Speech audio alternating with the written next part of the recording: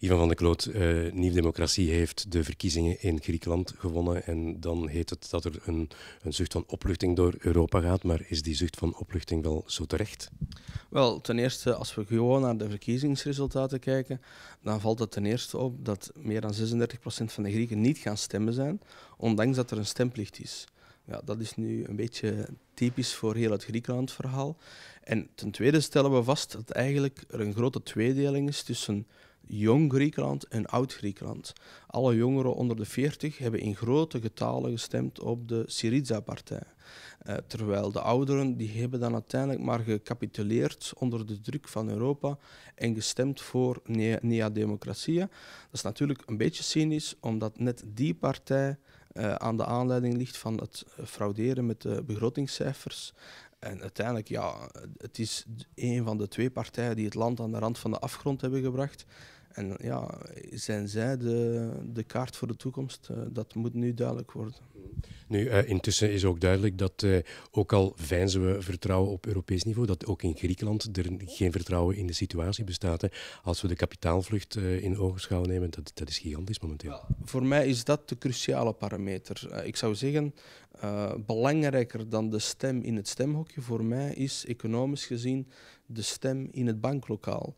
Eh, kantoor. Gaan de Grieken voortzetten met hun sluimerende kapitaalvlucht? Hè? We spreken niet van een bankrun, maar van een bankjog, zoals men dat dan uitdrukt. Maar uh, ja, dat is nu eenmaal zo dat het Griekse banksysteem boven water wordt gehouden tot vandaag door steun van de Europese Centrale Bank. Maar de principes van centraal bankieren schrijven voor dat de centrale bank dat alleen mag doen tegen geldig onderpand. Maar als de Grieken blijven hun stem uitbrengen in de zin van we sturen ons geld naar het buitenland, wel, dan stemmen ze eigenlijk voor het einde van de euro de facto, ondanks hun gedrag in het stemlokaal. Omdat op een bepaald moment de ECB niet meer kan uh, liquiditeiten in een systeem pompen waar geen geldig onderpand meer aanwezig is. Dus echt de sleutel tot ja, de toekomst van Griekenland, zal ik maar zeggen, ligt niet op het politieke niveau, maar ligt eigenlijk bij de ECB?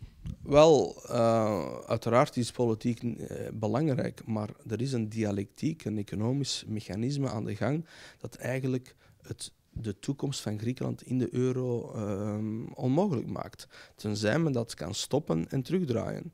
Maar natuurlijk moeten we ook zeggen van kijk, alle oplossingen die vandaag aan, gediscuteerd worden, de vraag is in hoeverre zijn dat echte oplossingen. Um, de kwestie is, kapitaal of geld is niet per se het probleem. Men heeft tien jaar eigenlijk lang te veel geld ontvangen. Vanuit Noord-Europa stroomde het kapitaal toe.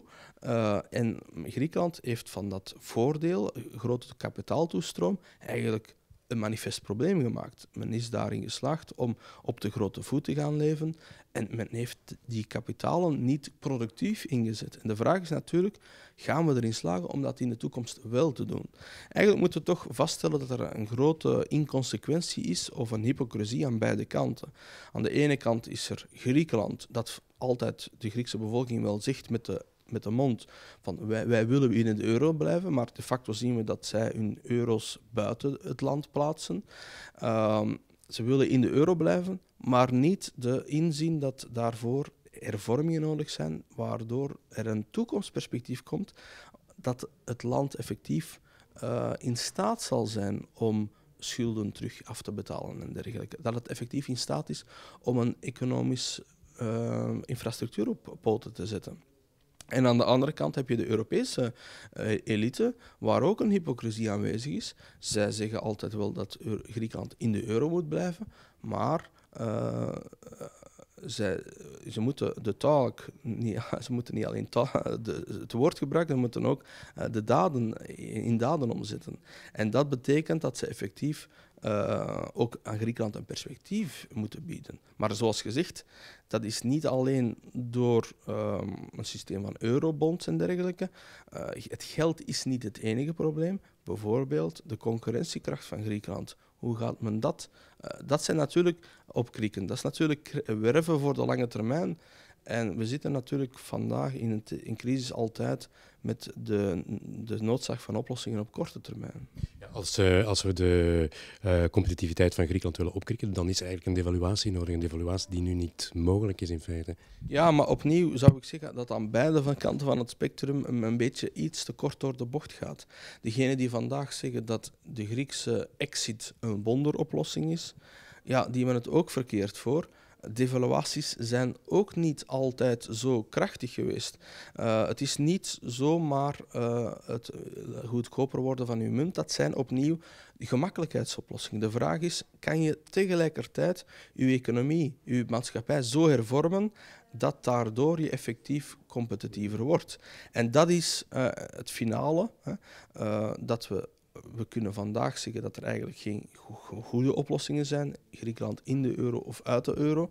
Maar op lange termijn blijven we natuurlijk op dat soort malaise, ongemak zitten van ja, we hebben een huwelijk gesloten tussen een partner die kiest structureel voor uh, duurzame oplossingen, voor, het, voor een, een economie op, op echte intrinsieke kracht, sterkte, de Duitse economie en een economie, een, een, land zoals Griekenland, waar het in het DNA zit om systematisch voor gemakkelijkheidsoplossingen te kiezen. Maar dat is natuurlijk de fundamentele vraag. Hè. In welke mate kan je Griekenland op Duitsland laten rijmen? Ja, en um, men zegt dan van ja, dat is allemaal gemakkelijk achteraf praten. Maar dan moet ik u eh, toch uh, zeggen dat dat in de jaren 90 ook de dominante stemming was onder economen. Ik herinner mij nog een economisch congres waar al die soort existentiële vragen. Gaat dat wel lukken, zo'n muntunie? Is dat wel een optimale muntzone? Uh, kunnen die landen wel samen gaan? want als er crisis komen, gaat dat dan wel bij elkaar gehouden kunnen worden?